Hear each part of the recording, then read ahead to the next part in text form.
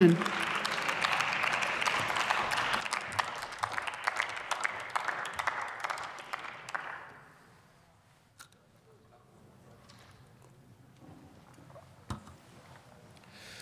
geehrte Frau Präsidentin, liebe Kolleginnen und Kollegen!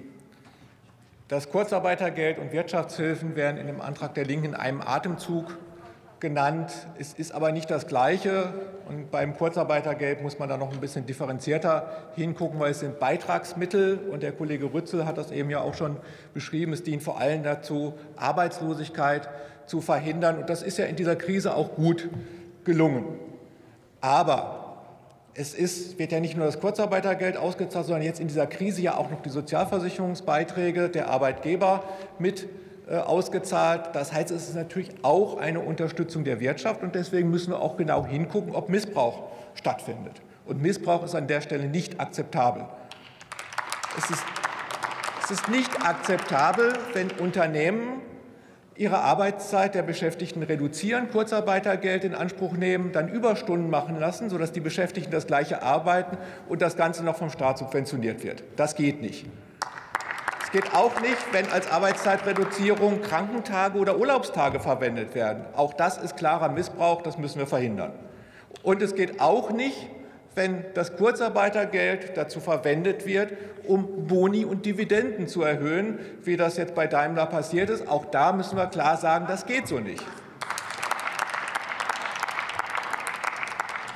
Gibt ja von den Linken noch einen zweiten Antrag zum Mindestkurzarbeitergeld. Das haben wir letzte Woche in letzte Sitzungswoche in erster Lesung beraten, hatten eine Anhörung diese Woche und im Ausschuss diskutiert. Und ich würde Sie alle noch mal dringend bitten, stimmen Sie diesem Antrag zu, weil er ist wichtig.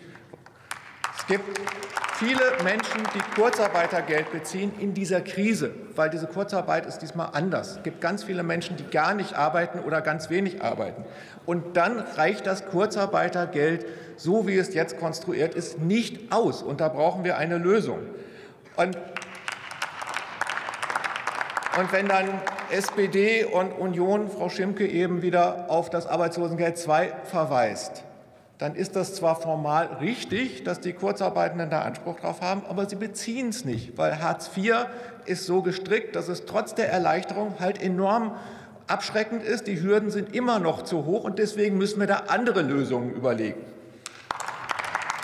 Das gilt ja nicht nur für die Kurzarbeitenden, sondern auch für die Künstlerinnen und Künstler, für die äh, Solo-Selbstständigen. Auch da versagt ja die Bundesregierung. Aber bei den Kurzarbeitenden braucht es eine Lösung. Wir brauchen eine Lösung, die dafür sorgt, dass das Existenzminimum abgesichert ist. Ich habe mich ja gefreut, dass in der Ausschussanhörung die Expertinnen und Experten gesagt haben, dass der grüne Vorschlag, den wir letztes Jahr vorgelegt haben, eigentlich noch besser wäre. Das nützt den Menschen aber jetzt heute auch nichts. Der Vorschlag, den die Linken vorliegen, der auf einer äh, einem Vorschlag von NGG und Verdi beruht, den wir Grünen auch mit unterstützt haben, ist ein guter. Stimmen Sie dem zu. Und wenn Sie dem nicht zustimmen, wovon ich leider ausgehen muss, sorgen Sie dafür, dass Sie eine Lösung schaffen für die Menschen, die kurz arbeiten und die zu wenig Geld haben, dass das Existenzminimum abgesichert ist. Vielen Dank.